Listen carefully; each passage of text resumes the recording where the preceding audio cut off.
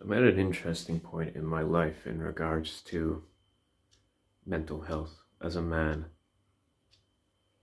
I was I was always pretty open-minded about the idea of therapy.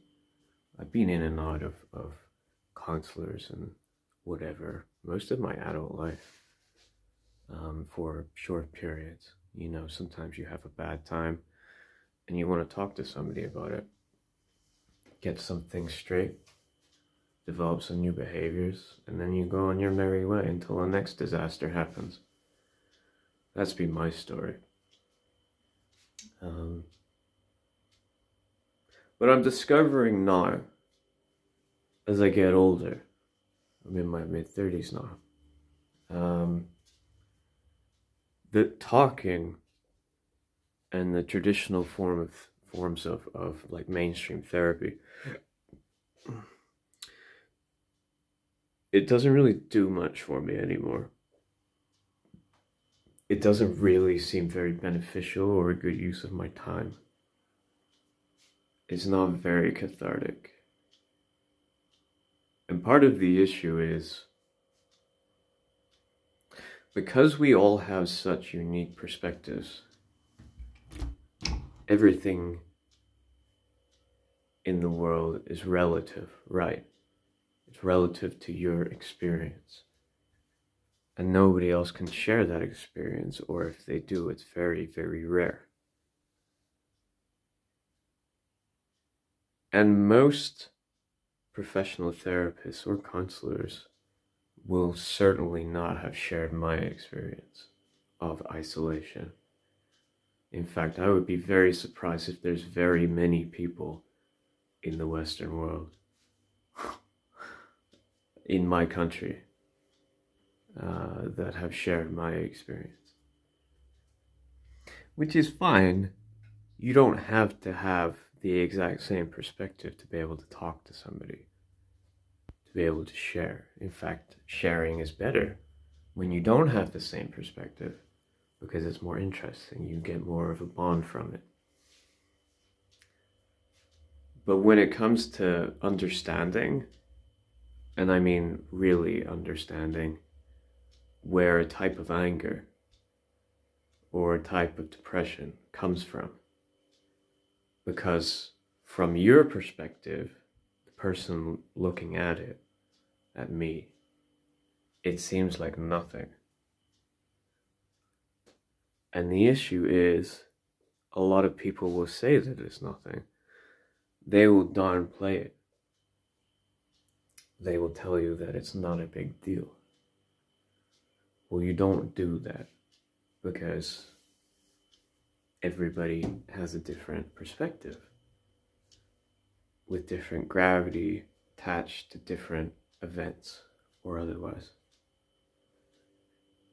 So I've always had this issue where the things that bother me and the way that I articulate that is not respected by most people.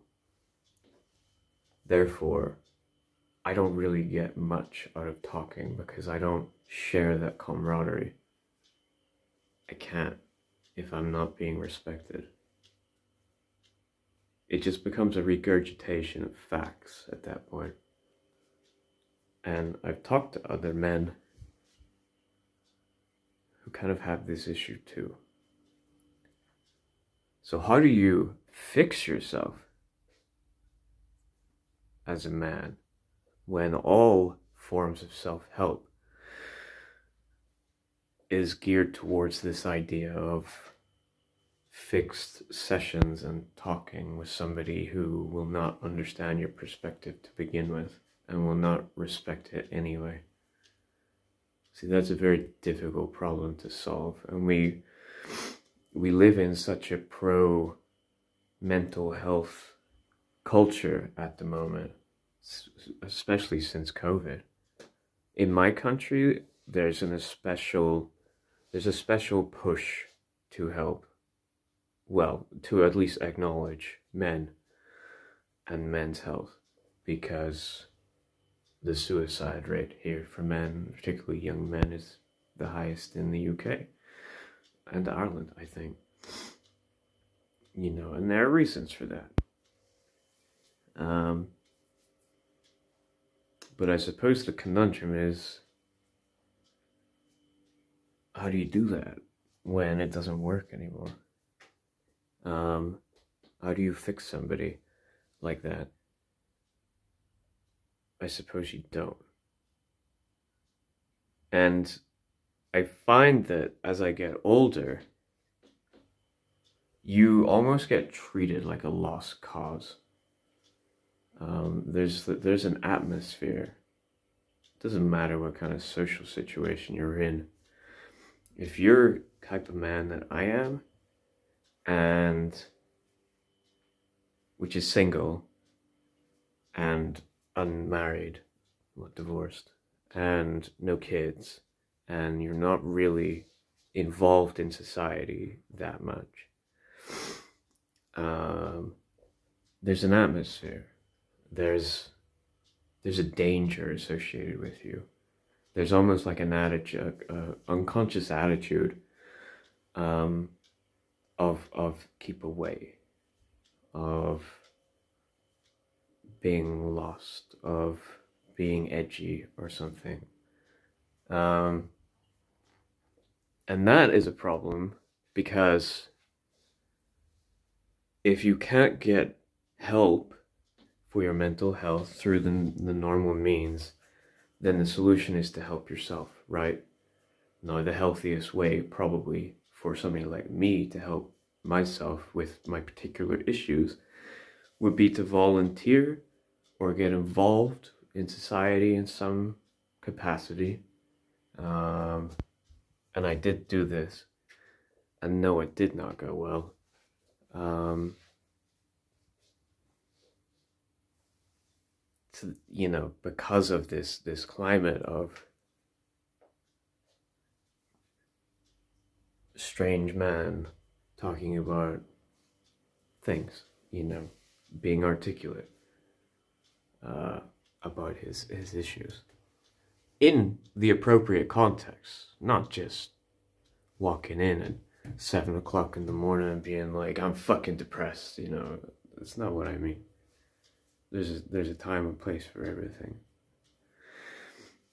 So that's the problem that I have, and I I don't think that I'm unique in that. Uh, and I get I get frustrated because I've always been told my whole life to.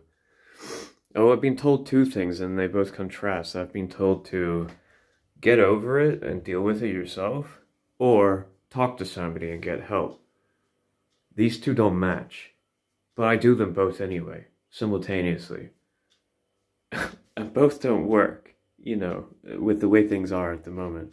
At least for me. It might work for other people, but for me it doesn't. Um,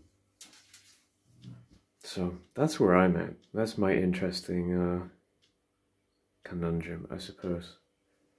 That probably won't get resolved, and I'll just bury myself in work again until I blow up in another year. But uh, that's my experience as a as a dude, I suppose.